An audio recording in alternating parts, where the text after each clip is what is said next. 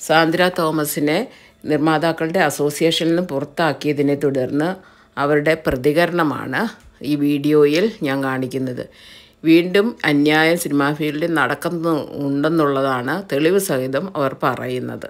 അസോസിയേഷനിൽ rooms എന്തിനാണ് producers അസോസിയേഷനിൽ rooms മറ്റ് പല രീതിക്ക് വേണ്ടി പല കാര്യങ്ങൾക്ക് വേണ്ടിയിട്ടും അത് ഉപയോഗിക്കുന്നുണ്ട് എന്ന് അറിഞ്ഞതിന്റെ അടിസ്ഥാനത്തിലാണ് ഞാനത് പറയുന്നത്. അപ്പോൾ അവിടെ മറ്റു പല നടക്കുന്നുണ്ടെന്നാണ് പറയുന്നത്? ഇല്ലാതെ ഞാൻ ഇങ്ങനെ ഒരു പബ്ലിക് മീഡിയത്തിൽ വന്നത് പറയില്ലല്ലോ. ഈ അസോസിയേഷന്റെ മറവിൽ നടക്കുന്ന പല കാര്യങ്ങളും പുറത്തേക്ക് വരാനായിട്ടുണ്ട്.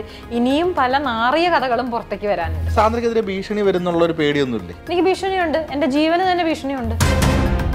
ഹേമ കമ്മിറ്റി വിഷയത്തിൽ പ്രൊഡ്യൂസേഴ്സ് അസോസിയേഷൻ എടുത്ത നിലപാടാണ്.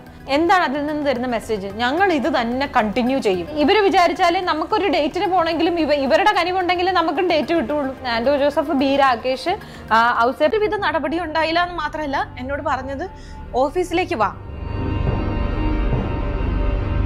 ഡ്രൈവറായിട്ടും പ്രൊഡക്ഷൻ കൺട്രോളറായിട്ടും ഒക്കെ വന്ന ആൾക്കാർ എങ്ങനെയാണ് ഇത്രയും പടങ്ങൾ പൊട്ടി പൊട്ടി പൊട്ടി വന്നിട്ട്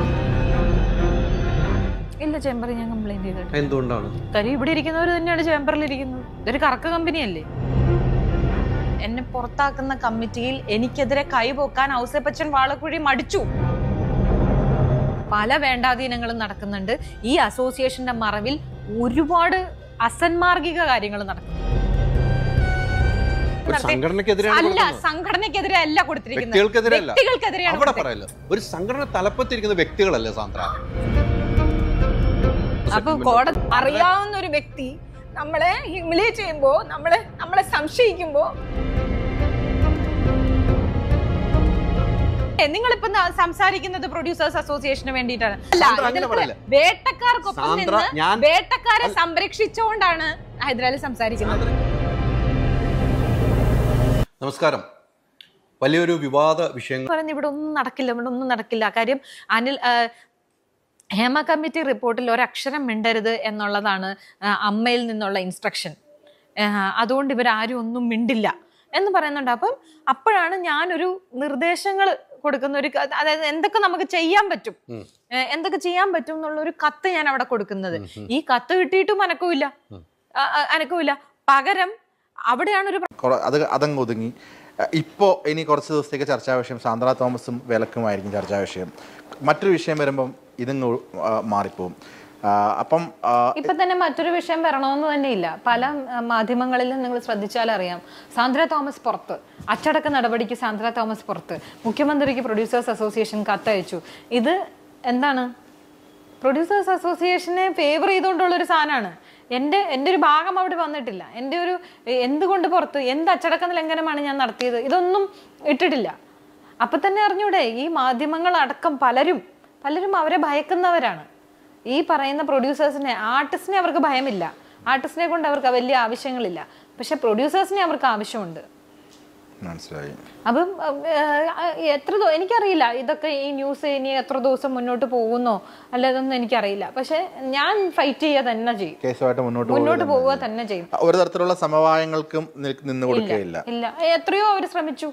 എത്രയോ വലിയ വലിയ ആൾക്കാർ എന്നെ വിളിച്ചു സംസാരിച്ചു പിന്നോട്ട് പോകാൻ പറഞ്ഞു. ഞാൻ ഞാൻ സമ്മതിക്കില്ല എന്ന് പറഞ്ഞു.